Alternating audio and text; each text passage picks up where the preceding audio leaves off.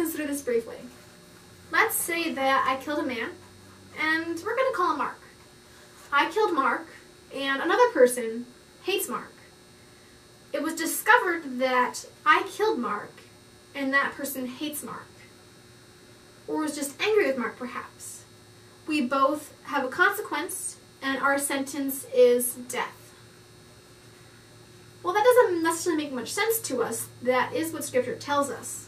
In Matthew 5 21 through 22, it says, Thou shalt not kill, and whoever will kill shall be in danger of the judgment. But I say unto you, whoever is angry with his brother will be in danger of the judgment. So if I kill someone, I'm in danger of the judgment. If I'm angry or hate someone, I'm in danger of the judgment. And I'm taking danger of the judgment to mean death or, in other words, spiritual death. So I would say with this in mind that I I would say that all sin has the same outcome, the same penalty. All sin ends in death. While that may be true, I would not agree that all sin is equal in evilness. They are all some level of evil or lesser greater sins. So I'm saying that there is an ultimate punishment. It's the same punishment for every sin. But there's also varying degrees of sin. And how can I claim such a bold statement, perhaps? It's not too difficult to claim because Scripture does support that idea, that theology. So you hear a lot of times that people might use quote Scripture saying that if I hate my brother, I have murdered them. If I lust after my neighbor's wife, I've already committed adultery. While this does have truth to it, is not quite what it's saying. Honestly, with this, when Jesus was using that scripture in Matthew, it was to tell the Pharisees that it doesn't matter what kind of sin you do, whether it be anger or killing, it's all going to be death and you need salvation. That was his whole entire purpose of using that scripture. That was the context of it. But people like to pull out of context and use it to defend something or to perhaps reinforce something. So let's say with this idea, let's say that anger and murder are equal. Lust and adultery are equal. In this case here, if I want to reinforce it, I would say I shouldn't be angry because it's the same as murdering. I shouldn't think about stealing something because it's the same as actually stealing it. Well, it's not necessarily the actual same thing, in this ideology, it is. No matter which I do, it's still punishable by death. But then you could also use it an opposite way. Why shouldn't I kill that person? Why shouldn't I steal that? Why shouldn't I commit adultery? It's the same as not doing it, because I've already thought about it. I've already been angry about it. I've already been envious about it. So what should stop me from actually doing it if they're both equal in punishment. That is some bad theology, but that is how it can be used and has been used. So some more facts to support that all sin, no matter what it is, punishable by death. We have James 2, 10 through 11 that says, For whoever keeps the whole law but fails in one point has become guilty of all of it. For he who said, Do not commit adultery, also said, Do not murder. If you do not commit adultery but do murder, you have become a transgressor of the law. So again, it doesn't matter if I did one law, let's say I disrespected my parents. I have just broken all the laws of don't kill, don't steal, don't commit adultery, don't be envious, don't dishonor God. I've just broken all of those. So again, this could be used to reinforce the idea, then don't do any of that. Or it could be, I've already broken it, so why don't I go for the, the greatest one? Because I'm already being condemned to death. Some bad theology, I would say. But scripture doesn't always doesn't only just give the idea that all sin is punishable by death, no matter what the sin is. It also says there are varying degrees of sin. If we look at Moses and the golden calf, when he sees it, he says that the people have sinned greatly. So this is not just a sin that affects one person, it affects the whole community. Then we have Jesus talking about the Pharisees misleading the people about the Sabbath. And he calls them vipers. He is very harsh on them. But then we look at the one at the well, who is apparently an adulteress of some sort, or perhaps could be called a prostitute or something like that, because she is told to have had five husbands. He's not as harsh with her as he is with the Pharisees. Which is gives me the impression again that there are lesser and greater sins. And let's work on with this idea about lesser and greater sins. I want to use the word abhorrent or seriousness as well as like greater and lesser sins. I would say that murdering is absolutely abhorrent. It is a very great sin. While I would say that anger is a sin, I would not say it is as bad as murdering somebody. While I would say that lusting is a great sin, I would not say it's as bad as rape or perhaps adultery. If I envy a life, if I envy my friend's life, and and it puts like a wedge between us, that's just envy.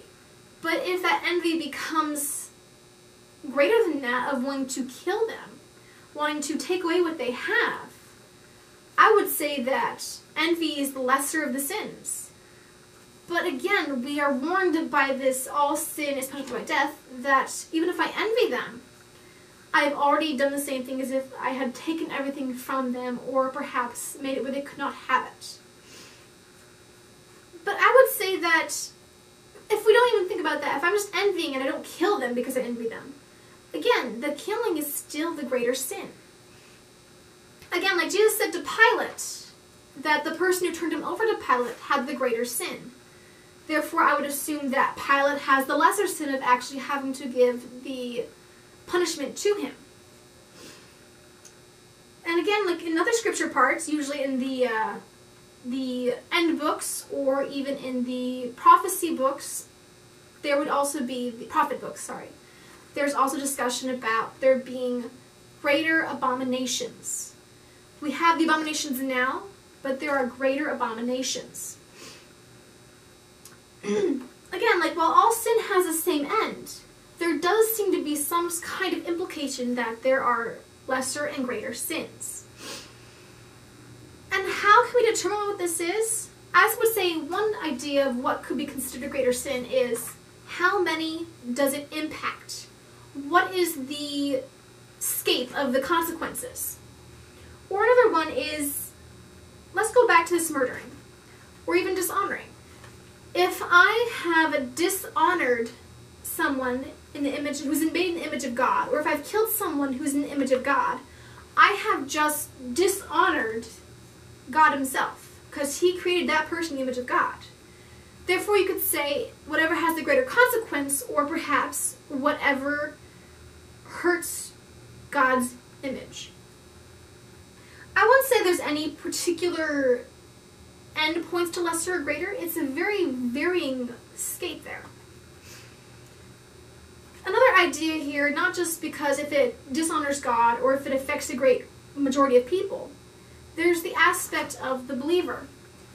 I would say that if a believer decides that they want, a claimed believer decides they would like to get drunk, it is a more serious offense than just a non believer doing the same thing.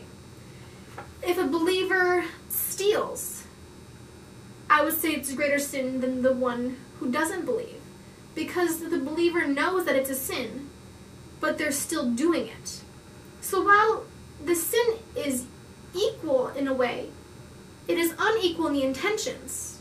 An unbeliever may not realize that what they're doing is a sin, while the believer knows it, but they still do it. That is just what I think, but I still agree that there are lesser and greater sins. So, is all sin equal in the punishment received? Yes, as we've already determined, the punishment is death. Is all sin equal and evil, seriousness, abhorrence? I would say no. So all sin again is punished by spiritual death. But different sins have a greater impact on the world, on the people, on God's witness, on our witness as believers in Him. And we should also keep in mind that with this idea of lesser and greater, that still means that we should use this one law broken equals all broken as a way to tell people not that they should not necessarily use it as an excuse. They should use it as a way to reinforce what they do. They should not break the laws because it's equal to death. While those who want to misuse it will misuse it in the manner of why not just do it because I've already broken it already in some way. I did not kill anyone, so I am good. I have not stolen anything, so I am good. I have thought about hurting someone, I am not good. I have wanted something from someone that I could not have. I am not good. So we will say, people also like to use this as a way to compare. Yes, there are lesser and greater sins, but all sins have the same punishment, therefore we should not compare sins. We should do our best to avoid all sin. All sin is evil. Rape, murdering, stealing, drunkenness, homosexuality, drinking to abhorrence, everything, all sin is evil. and if it's done on purpose, if a believer does these sins on purpose, or if an unbeliever who knows it's wrong does it on purpose, it is even greater of a sin than if it was not done on purpose. And this is how we should interpret Scripture. There is one punishment. We are not good. This is why we need God. We should not compare ourselves to others because all laws are all all broken laws have the same punishment. But again, there are different consequences to those sins.